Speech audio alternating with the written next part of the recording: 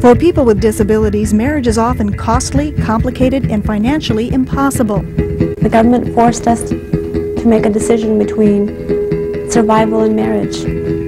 A maze of bureaucratic restrictions keep many couples with disabilities from turning love into marriage. I feel that Social Security is practicing a form of genocide. Anybody that's able-bodied is not forced to live under the same constrictions that someone with a disability is forced to live under. And if it were an able-bodied person, they wouldn't stand for it. Disabled and the cost of saying I do. Next on Life and Times.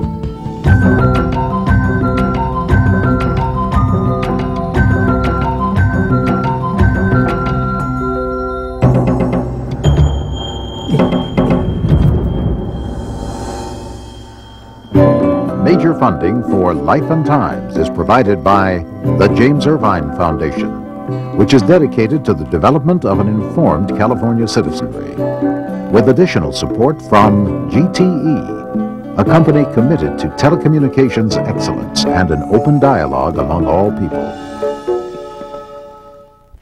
Hello, I'm Val Zavala. It's an option in life that most of us take for granted. We meet someone, fall in love, and if we want, we get married. But if you're disabled and receiving government help, that is not a viable option. The reason? Getting married means losing crucial Social Security benefits and facing financial ruin. Social Security is more than just retirement income for Americans. It was designed from the beginning to help the disabled. The assumption being that society has a responsibility to help those who, through no fault of their own, cannot support themselves. In fact, most people with disabilities would love to be independent, to work, and if they choose, to marry and start a family. But as long as government regulations are what they are, these basic desires will go unfulfilled.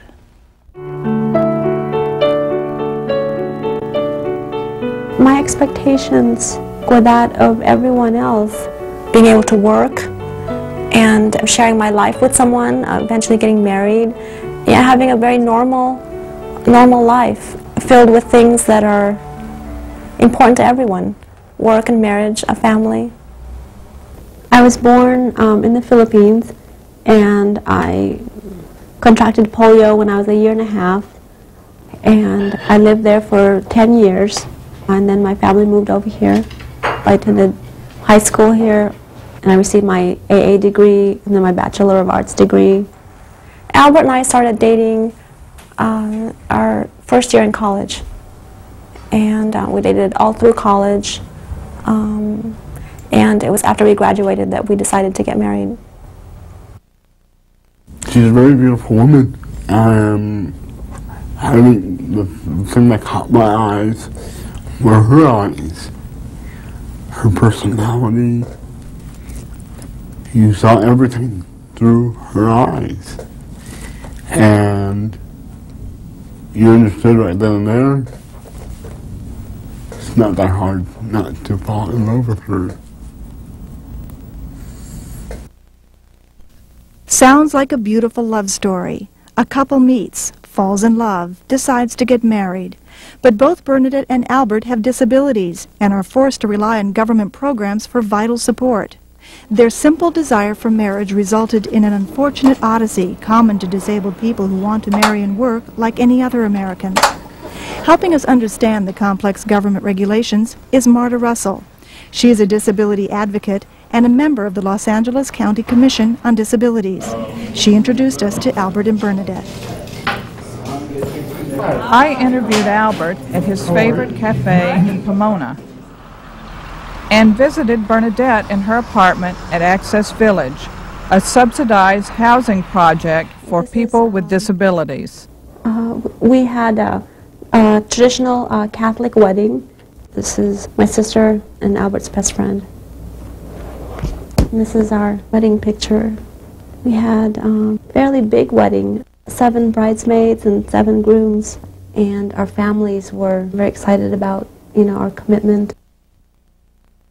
I think when you make a commitment to get married that it is forever, it's, that's what marriage is about. What happened right after you got married?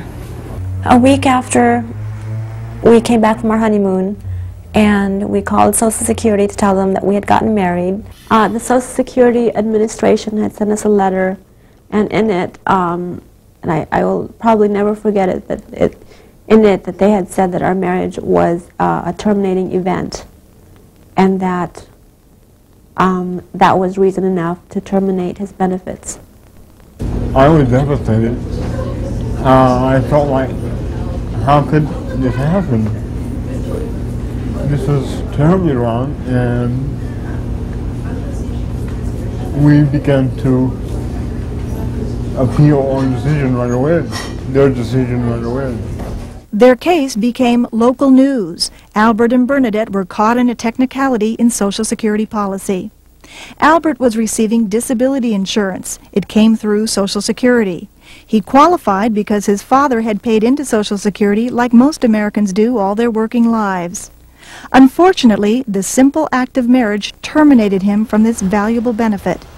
Albert had tried to find out in advance what effect his marriage would have on his benefits, but he got wrong information, and he ended up not only losing his disability insurance, but more importantly, for a person with cerebral palsy, he lost his Medicare. It felt like someone had taken a knife and um, really just stabbed me in, in the back. Uh, I felt the government had not allowed for this type of situation to occur. When we were faced with these marriage penalties, um, we were we were angry. We were we couldn't believe that this was happening. Um, we started reaching out to people in the community. Uh, Congressman Dreier introduced a bill in Congress that would eliminate this marriage disincentive, but unfortunately it, it failed. We also fought this marriage disincentive issue through the court system, and we wanted, wanted to take it as far as the Supreme Court, but we financially um, couldn't go that far.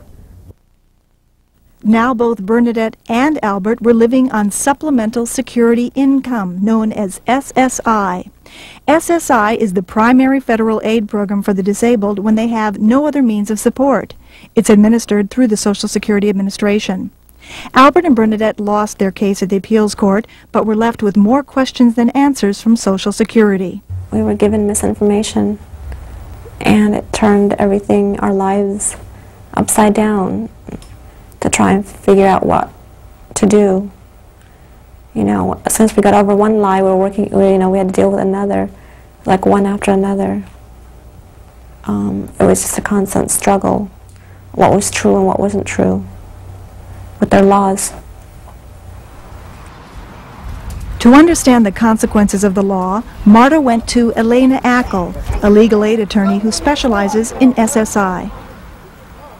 The tragedy is he's lost a good benefit that his father worked for all his life by getting married. He didn't know in advance, and once he got married, it can never be undone. He's lost it for the rest of his life. You got a hug for me today?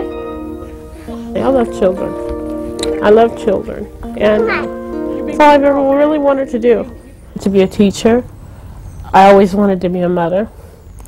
I thought that uh, eventually I would marry and have a family and live on my own. There was no question. Donna has cerebral palsy. Like four and a half million disabled Americans, Donna's only source of support is SSI. As a California resident, she receives the maximum benefit, $603.40 a month. She also receives Medi-Cal. Donna is in her last year of college, working towards her dream, a teaching job, and a way off of SSI. Bill and I met back in 82. Um, he was working at the school that I was volunteering at. We were just friends. We worked with uh, disabled children and we'd see each other on breaks and just, hi, how's it going? We decided to get married because we love each other and the fact that we really enjoyed each other's company. We wanted a church wedding. That's what we really wanted. I mean, we had lots of friends and family and you know, it was something that we believe is a forever commitment. Their marriage plans were accelerated when Donna found out she was pregnant. What did I feel when I found out I was going to be a father? Surprise.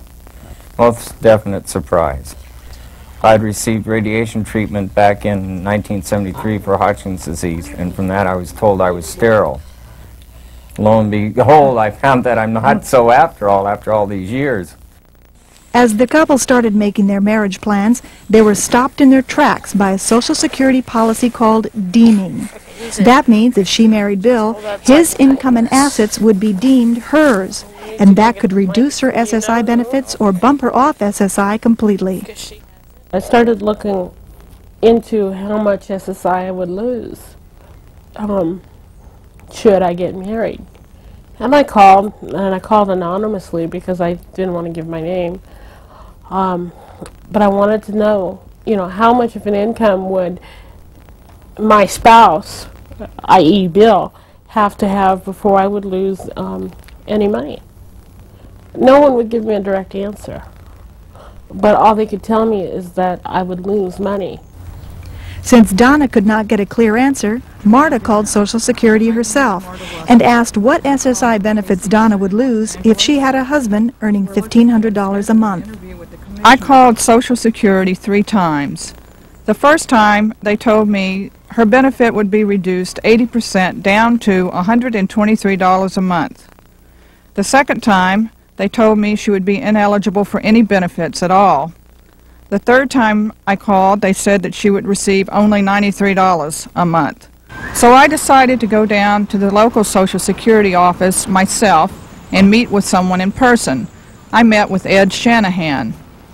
In the case where someone is receiving $1,500 and they're married to someone who's on SSI as a disabled individual, we'd reduce their benefits down to $157.40. That would be her SSI check each month. But Ed Shanahan's answer was different from the other three answers I had been given before. How do we explain these discrepancies?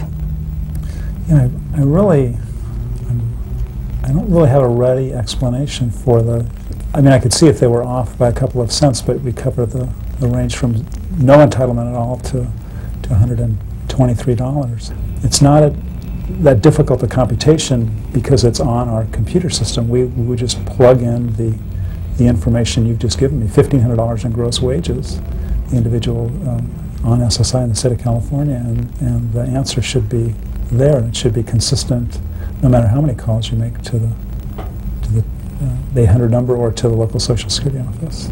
Social Security is a chronic purveyor of misinformation. That's why when people want to know what will happen if they do certain things, they can't get an answer about Social Security they can rely on because they'll call three different people, and if they get an answer at all, it will be three different answers, and most often, all of them will be wrong. Even if you get information and you rely on it to your own detriment, there's no accountability. That's right. I mean, i if, if that was the wrong information and you relied on their information and that you've acted in a way that makes you ineligible, you're ineligible, you lose out. Simply the fact that they got misinformation, although very unfortunate, wouldn't allow us to continue benefits to her. With no recourse, Donna could not afford to lose her SSI. I get $603.40 a month and Medi-Cal. Half goes for rent, about $20 a week for food. Uh, it varies per week, but gas for my car. Uh, clothing, should I need any. Personal items. Utilities. Phone, which is nece a necessity for me because I am asthmatic. I have to be able to call for help. You really can't live on that money. I mean, you can if what you call what, I do living. It's just basically existing. It's a hand-to-mouth existence. Even if Donna and Bill got married, Bill's income and assets would not help Donna get ahead. Instead, both Donna and Bill would be dragged into poverty. How so? Because SSI has a resource limit of $3,000 for each couple. This means Bill would have to voluntarily give up his savings and his car and keep his total assets under $3,000. If he didn't, Donna would be knocked off of SSI. It would appear that one of the greatest disincentives to marry is the resource limit for persons who do marry on, and one partner is on SSI. Could you tell us about that? Yes, I mean, for one person on SSI, you can't have more than $2,000 in assets, and for a couple, it's 3000 Well, if you want like a normal marriage situation, you're supposed to be saving towards your retirement. You can't do that. So that means, you know, even if you stay married, the time you retire, you're going to be on SSI too, and so there's, you can't do like the normal things of life of save up for a child's education. You can't do that because you'll be cut off. You can't save your retirement. You'll be cut off. You can't save for a down payment because you'll be cut off. If you save for anything like any normal couple saves for, you'll be cut off. So it's totally unrealistic. There again of forcing the person that is working every day to live like they're on welfare and like they're going to be on welfare the entire rest of their life until they die. Once married, Bill's assets, his 1987 Mazda, savings account, certificates of deposit, and life insurance policy would have resulted in Donna losing all her benefits, including her Medi-Cal.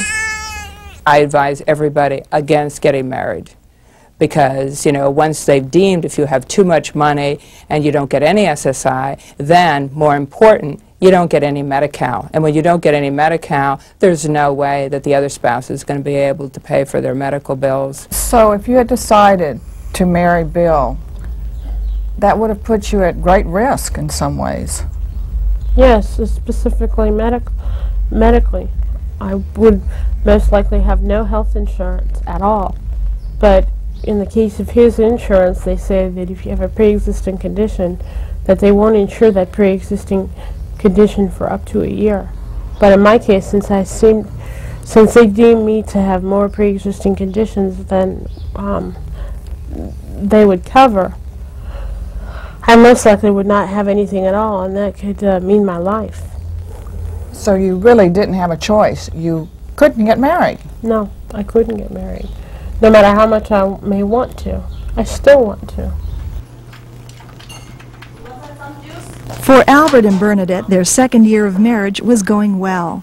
Their failed court and congressional battles were behind them, and Albert was offered a job with the Department of Rehabilitation. Bernadette was offered a part-time job as a disability advocate. But before they accepted the jobs, they called Social Security to find out how their earnings would affect their benefits. And again, we got no answer. We couldn't get anywhere. Um, you know, Albert took the job. And then I was also offered a job. Um, we took them um, because we had worked most of our lives for, you know, our education and um, a lot of the work experience we had built up for was to, to, to try and get to try and have a better better life to you know to keep working towards something better. A job to me means financial security, obviously, but it also means self self worth and pride, and it, it really feels quite good to actually be productive. What Albert didn't realize was that by working, he would face the same $3,000 resource limit that prevented Donna and Bill from getting married. Bernadette's SSI, Medi-Cal, and personal attendant would be in jeopardy. I need um, a full-time attendant seven days a week um, because I'm severely disabled and um, and I need help um, with everything from getting dressed, going to the bathroom, fixing my meals. My attendant is my hands and my feet to do just everything throughout my day. If I didn't have an attendant, I would be living in a convalescent hospital because I would have to have someone to take care of me.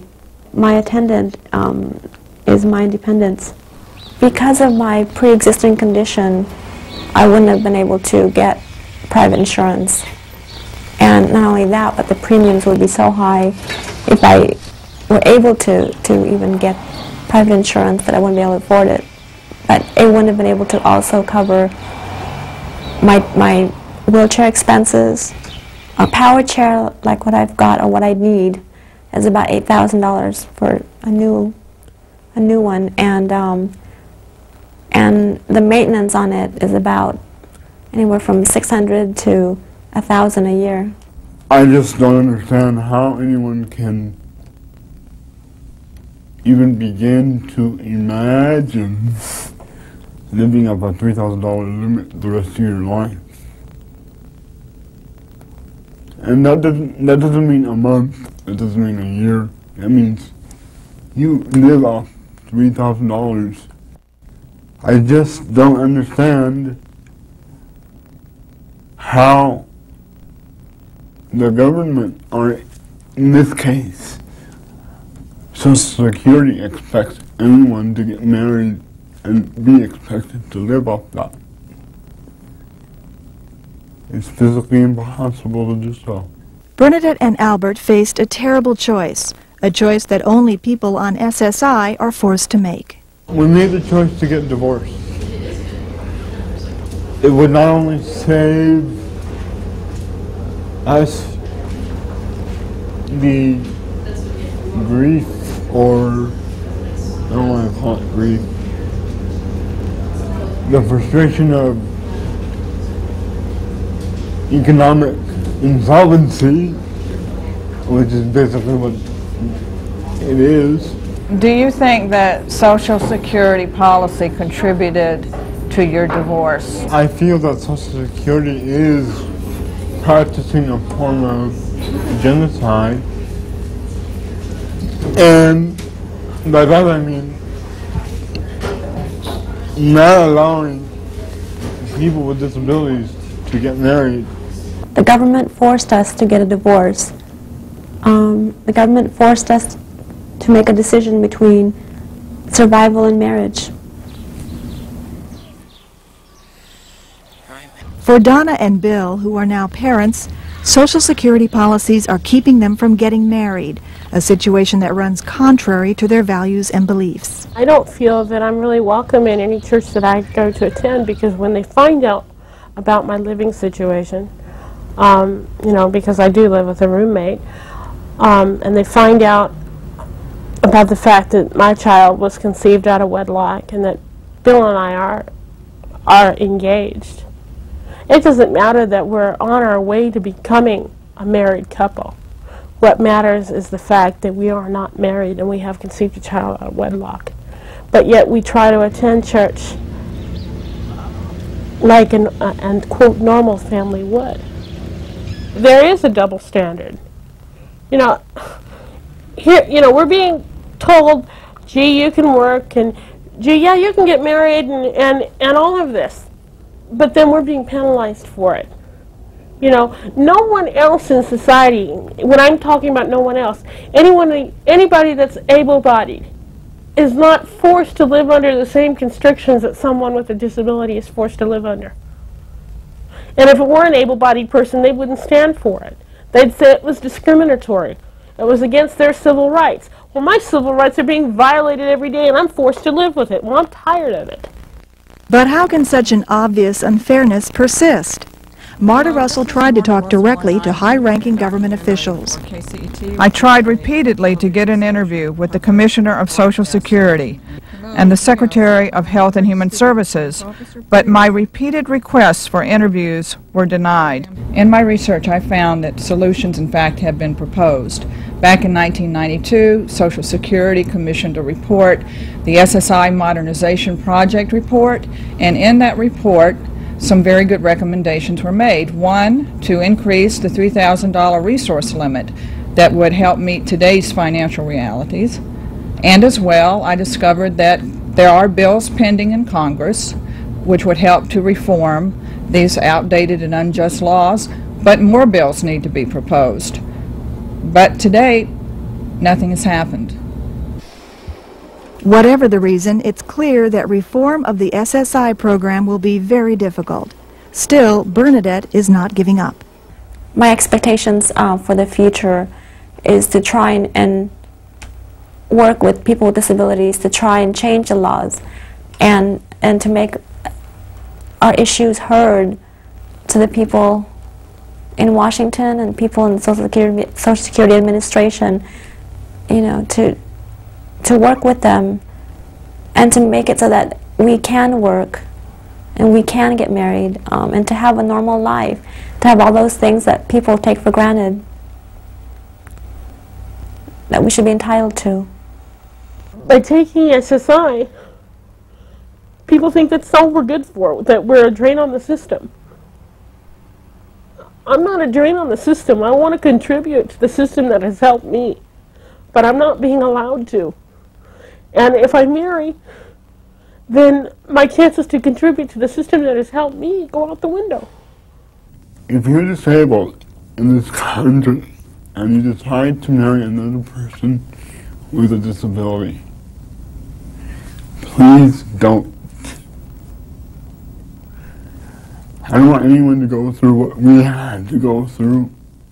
It's, it's a very frustrating, very tiring process. And in the long run, you're going to end up separated anyway. Love, love conquers a great deal of things. but the government, or this particular branch of the government, destroys so much more.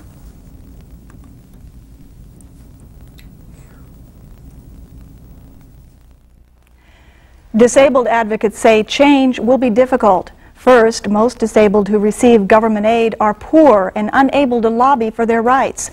Second, reforms for the disabled are overshadowed by other Social Security and health care issues.